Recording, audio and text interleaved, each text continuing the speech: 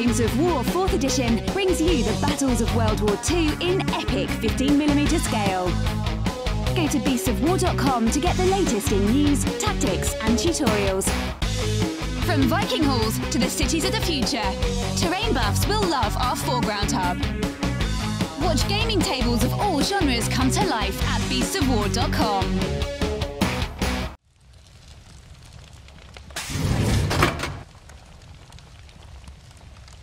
Hi everybody, I am back with Michael from CMON and today we are having a look at some of the Stark tactics. So uh, Michael, what do you want to show off today for everybody? So today we're going to have a focus on the different Stark units and the unit attachments that go along with them. Okay, uh, well let's get stuck straight in. We'll grab my favorite unit here and everybody by this stage should know this is my favorite, favorite, favorite unit. It is of course the House Umber Berserkers. Now, these guys are a big, heavy hitting unit that only gets stronger as their friends die around them and that just makes me happy because uh, I'm not exactly the strongest tactically sometimes, so you know, getting rewarded for making tactical faux pas, I can live with. So what we have here is an already expensive unit. This is Mm. in fact the most expensive combat unit in the starter box. Mhm. So by taking different attachments and adding them, you're going to be putting a lot of your points into one, you know, consolidated source. yeah. It's going to up their potential considerably, but just note that that is a decision you're going to make. You know, Mm. you're putting a lot. If this unit gets taken out, it's going to be a heavy blow to your army. Yeah, well, I mean, like, mm, I do want to add an attachment to them, and there's one here that I haven't seen before. So, who is this? That is the Sworn Sword Captain, and he is got a very kind of plain effect, but Mhm. still insanely useful. Uh, he has the Martial Training Order, which is once per round when the unit attacks. After you roll your attack dice, you can re-roll any of your misses. Ah, nice. So, I assume that doesn't stack with when I'm on the charge. I can't re-roll a reroll, Correct. The die can only be re-rolled once. But it does give my opponent the problem that if they look at it and go, well, if I charge into these guys, they're going to get to attack me anyway and re-roll that. So, it's kind of like having them always on the charge and making your opponent look at it and go, mm, maybe I don't want to charge them. Maybe I just want to let them get to me. Correct. It's going to create a bad, you know, no-win situation for your opponent. Either let them get charged, but if I charge into them, then they're still basically going to get the same effect.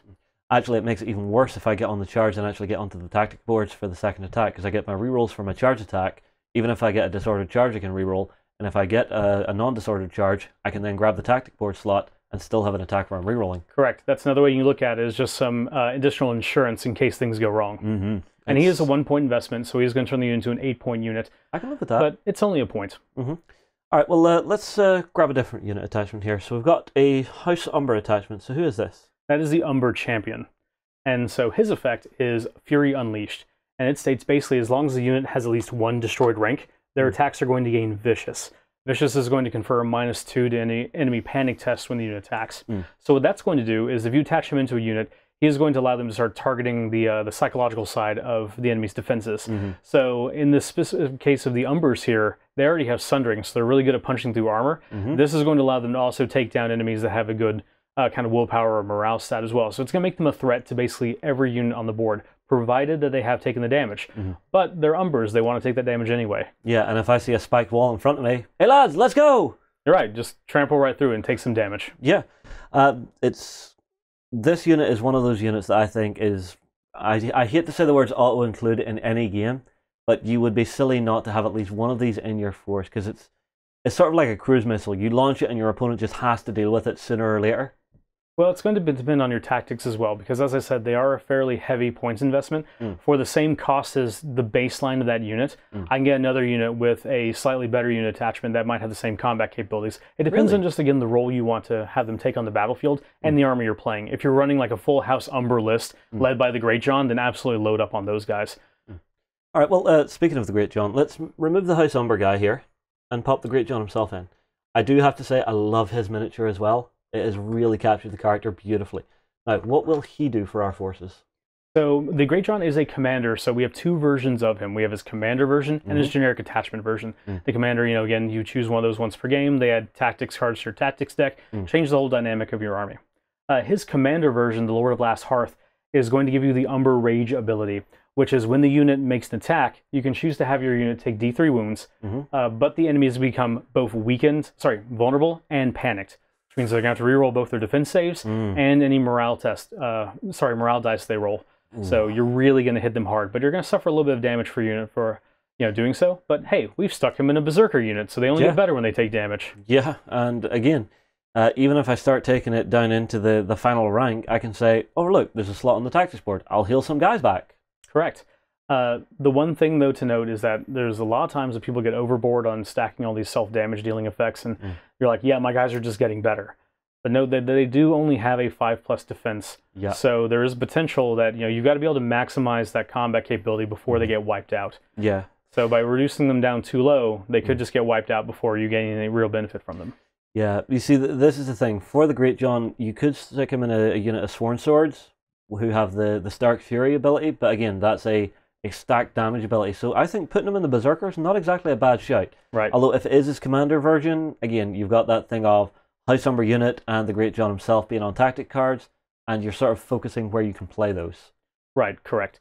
So a lot of the Greatjon's cards do have the they gain additional effects for targeting unit with the Greatjon or a House Umber unit. Mm. So in this situation here, you've taken Greatjon and the Umber unit, stacked them both in there. So you're limiting where you can really gain the maximum benefit of those cards.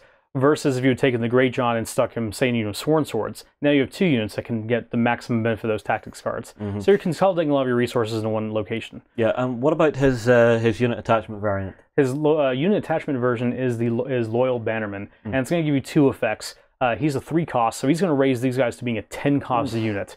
But for that uh, for that investment, you're getting the onslaught ability, which means that if you activate them via the combat zone of the tactics board, they can make a charge action instead of a normal attack. Mm-hmm. Uh, in addition, he's also going to give them the Fury of House Umber ability, which is basically when you're attacked, you can make a full attack action back, but you're going to suffer D3 wounds after that. Mm. So that's going to further up their combat potential and let them, you know, make more use of the uh, of their you know offensive capabilities before they're wiped out.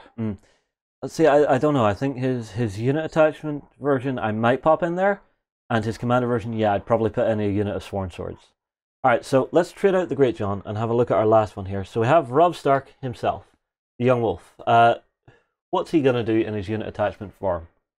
So again, having two versions, he's got his commander version and his unit attachment. In both situations, for taking Robb Stark, you're going to get Grey Wind added into your army. Ah, I see. So you get the puppy.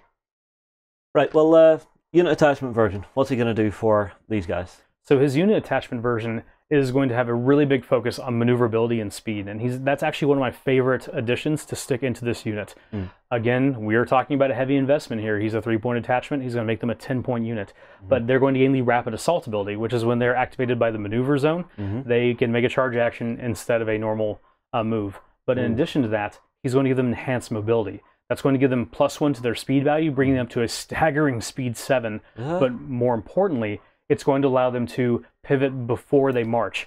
What that means is that basically there's never a reason for that unit to take a maneuver action because they can do the exact same thing by Hmm. doing march. And because they have that six speed that moves to a seven, they're jetting 14 across the battlefield at 14 inches, just like Okay. a rocket. cruise missile.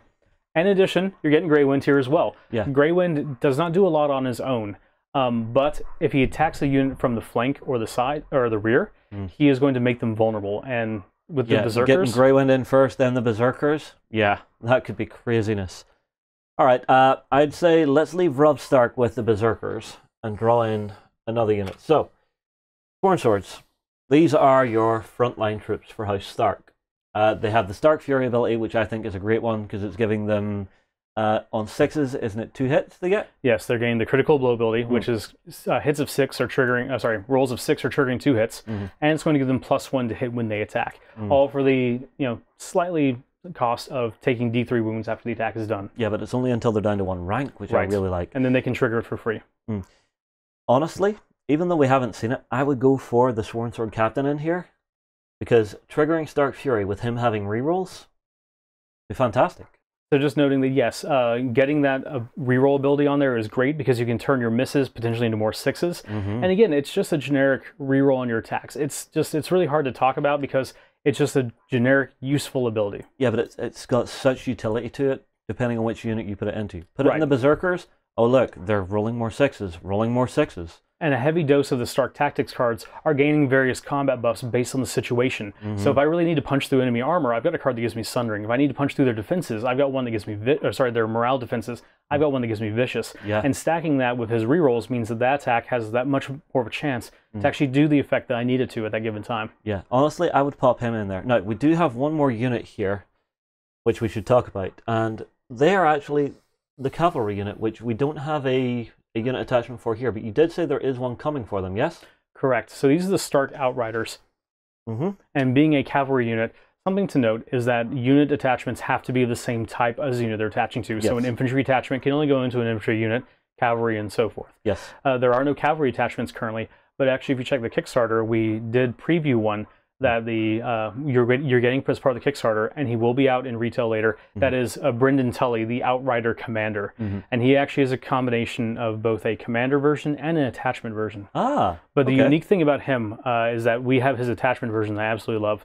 He can get a unit of uh, Stark Outriders Yes. and allow them to actually outflank in the scenario. So you hold them off the battlefield, and later they deploy through a flank or the enemy's deployment zone. Oh, that that could be vicious. Because I mean, like, uh, if you guys watch some of our battles, we played one or two, or no, we played one where we actually had units deploying from the size of the battlefield and from our own deployment. It really, really changes up some of the dynamics of your battles during this game. So definitely a unit attachment to look at. Uh, is that everybody? That is everyone on the Stark side. Okay, well, uh, everybody, tell you what, drop your comments in below. Who would you pop into what unit? We'll move on. We'll see you again soon. Go ahead and check out our other content on screen now, and be sure to check out beastsofwar.com for the latest gaming news and gaming let's plays. And while you're at it, why not hit subscribe and remember to ding our dong. Go on, you know you want to click it. Go on.